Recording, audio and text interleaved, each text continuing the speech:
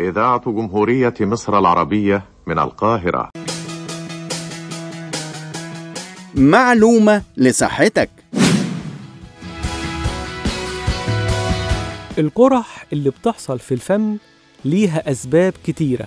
يعني ممكن تكون عدوى بكتيرية أو نقص فيتامينات زي فيتامين ب أو حمض الفوليك. وممكن تكون حساسية من بعض أنواع الأكل. وممكن تكون أحيانا بسبب التوتر النفسي بيعمل أحيانا قرح في الفم. كل الحاجات دي ممكن تعمل التقرحات الصغيرة المؤلمة اللي كلنا عارفينها وغالبا بتروح لوحديها بعد أيام. وبيكون علاجها بمجرد بس الاهتمام بنظافة الفم وغسيل الأسنان بالفرشة والمعجون وممكن الغرغرة والمضمضة ببعض المطهرات. ومعاها الأكل المتوازن الأكل الغني بالفيتامينات خاصة فيتامين ب المركب. لكن قرح الفم تقلقك إمتى؟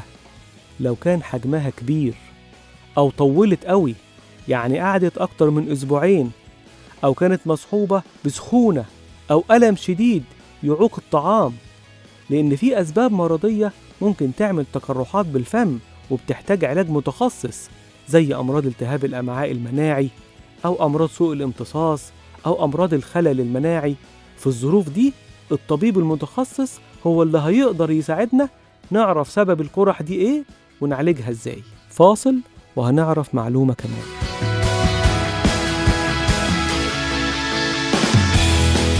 مرضى ارتجاع المريء ممكن ارتجاع الحمض عندهم مش بس يأثر على المريء لأ ده كمان ممكن الحمض ده يوصل للحنجرة والقصبة الهوائية والرئة ويهيج الأغشية المخاطية المبطنة للقصبة الهوائية وده بيتسبب في كحة مزمنة.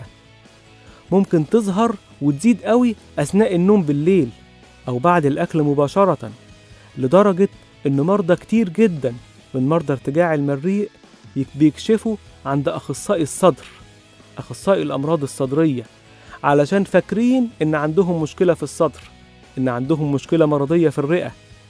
لكن أخصائي الصدر لما يكشف عليهم ويعمل لهم فحوصات بيلاقي عندهم كل حاجة سليمة وبيقدر يكتشف من خلال الاسترسال مع المريض. وسؤاله عن أعراض أخرى غير الكحة هيلاقي إن عنده أعراض ارتجاع المريء زي الحموضة وغيرها. وساعتها هتتحسن الكحة تماما لما ياخد المريض ده علاجات ارتجاع المريء. دمتم في صحة وسلامة.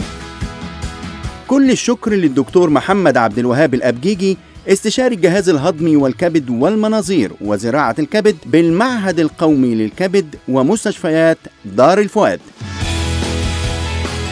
الرقم الضريبي الموحد 542 511 819 وبكرة وفي نفس الميعاد معلومة جديدة لصحتك. إلى اللقاء.